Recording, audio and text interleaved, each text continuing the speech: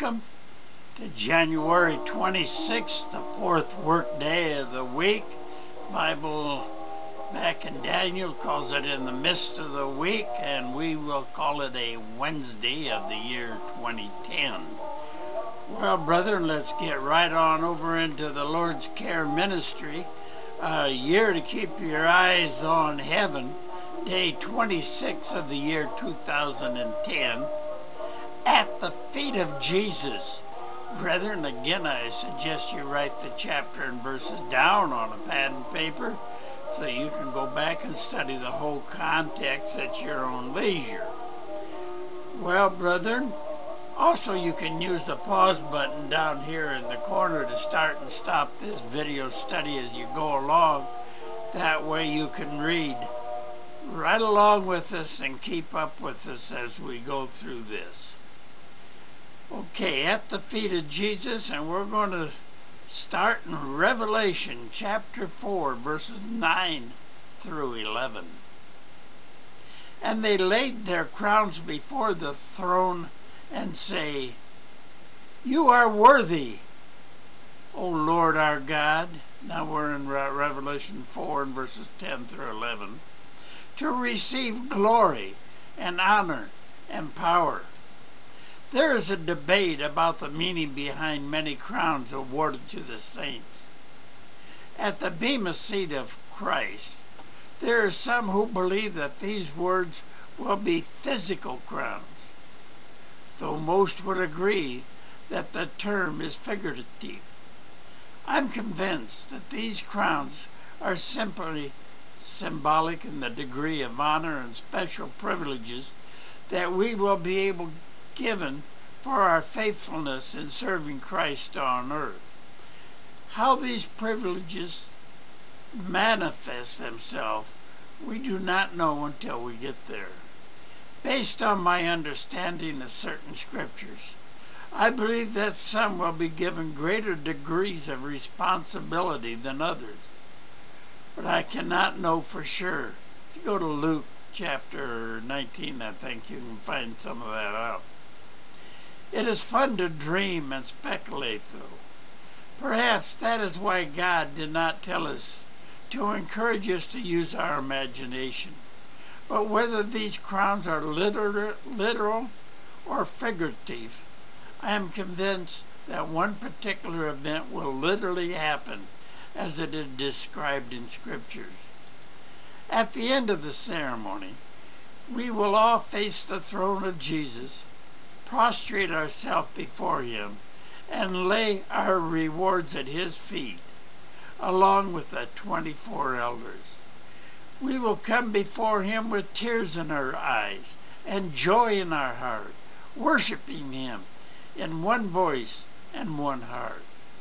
When we finally come face to face with our Redeemer, we will not be able to contain our love and appreciation we will gladly lay our crowns before the throne.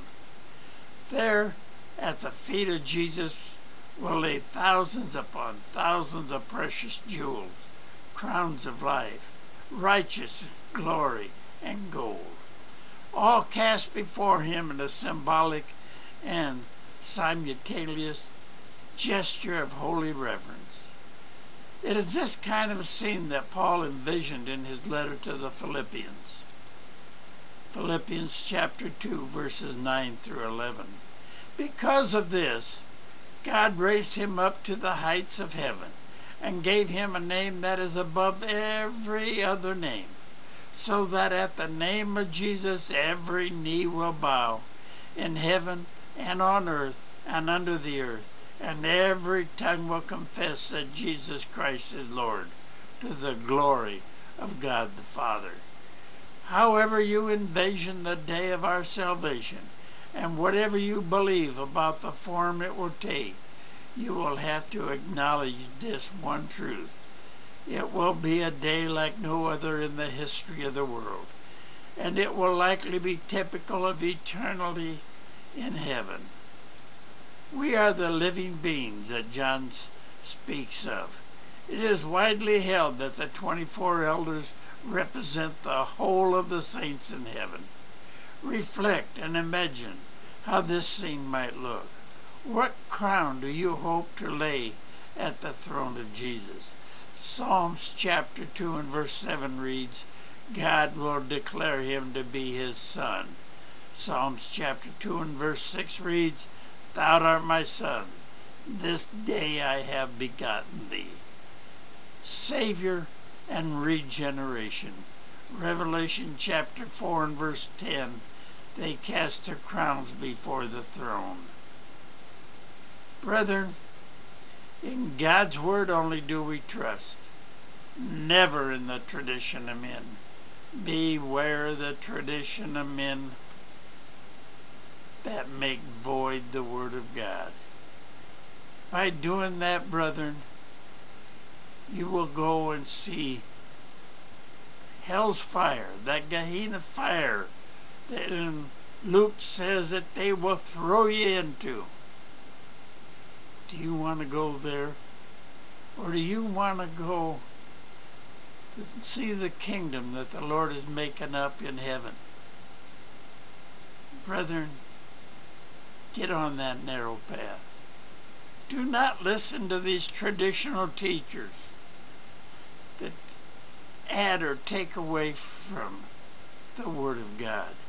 Brethren, let's go through a couple of them. Let's turn your book over to Daniel chapter 1, or chapter 4 and verse 1. And therefore hearken, O Israel. Israel is you. If you have a circumcised heart, if you love Christ, Romans 2.29 says you're part of Israel. O Israel, unto that statutes and unto the judgments which I teach you for you to do them, that you may live and go and possess the land which the Lord of God your father has given you. This land will be the earth when he comes back. Throughout the Bible it tells you. Tells you that. Now verse 2. You shall not add unto the word which I command you. That's that's the Christmas, Easter, Halloween, and etc. Neither shall you diminish aught from it you don't take away God's holy days, that you may keep the commandments of the Lord, your God, which I command you. Brethren, you know, it tells you this. If you want to go, let's take, take a little bit of time and go over into uh, verse uh, chapter 12 and verse 32 if we can find it here in our Bibles real quick.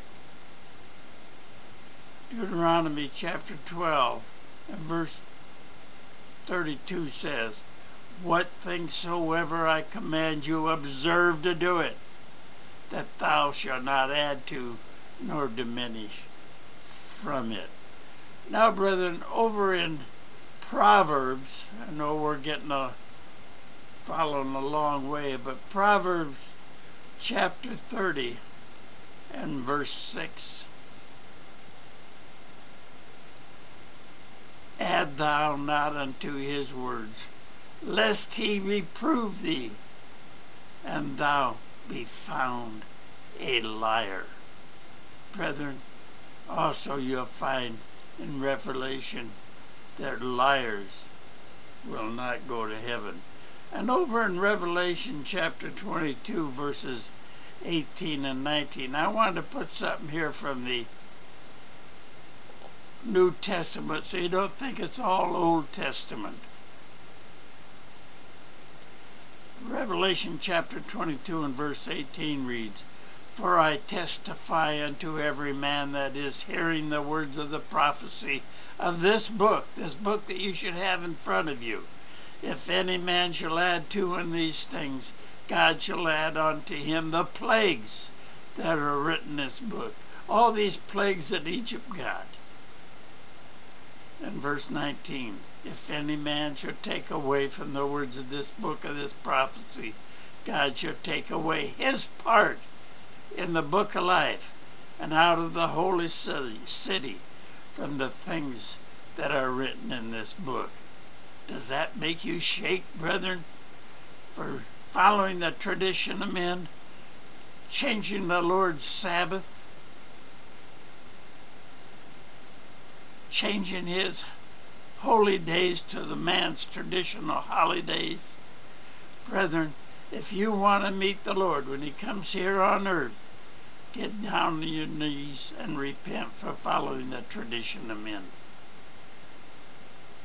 And while you're on your knees and ask him for this forgiveness, ask for the wisdom, the knowledge, and the understanding that the Lord has given to you in that letter that he has sent to you that is found in your own Bible.